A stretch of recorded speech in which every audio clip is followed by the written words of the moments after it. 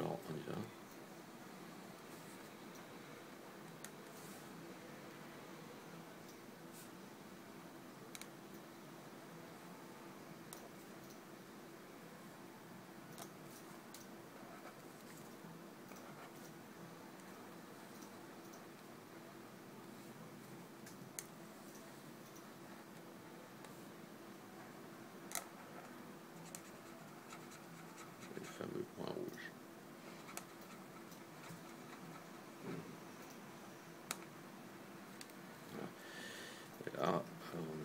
Avait pris appui avec le fameux Ronda Light.